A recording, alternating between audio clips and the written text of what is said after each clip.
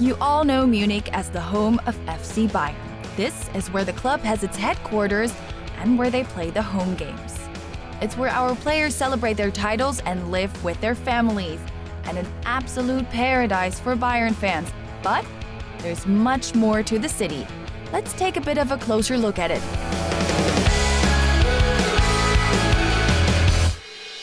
The name München comes from the Old High German Munichen, meaning by the monk's place, as the city was founded by monks and was first mentioned in 1158. It's the biggest city in Germany that is not a city state. And Munich is located further north than any major city in the US, excluding Alaska, of course.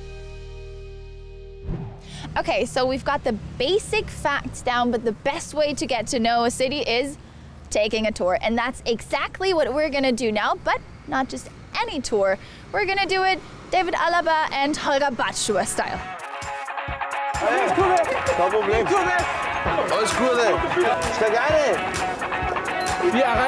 Alles. So this is our rickshaw and this is our tour guide Tapio. He's to show us all around town today and maybe we'll even come across one of the Bayern stars. So no time to lose. Let's go. Here we are at Marienplatz, it's the city center of Munich. Here in the middle we can see the Marias column and that's why it's called Marienplatz, Marias Square.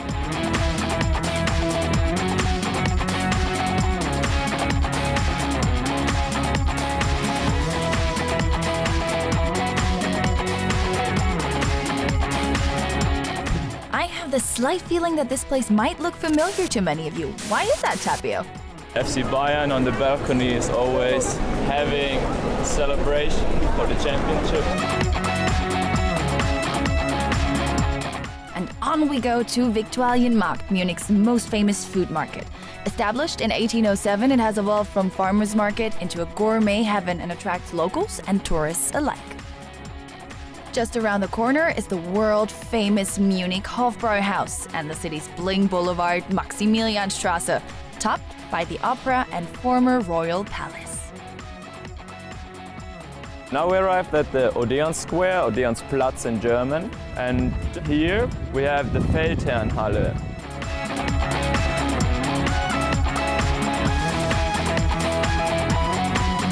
Here we can see the Victory Gate, Siegestor,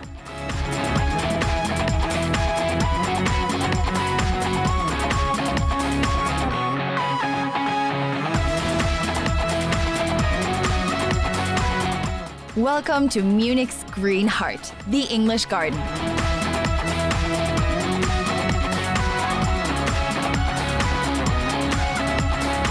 It's the locals' favorite summer hangout and a hot spot for surfers. Yeah, that's right.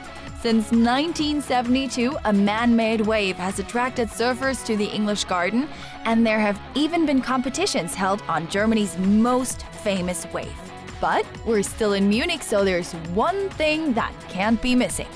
the Chinese Tower Beer Garden.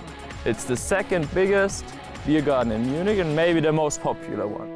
And these are the only people allowed into the tower.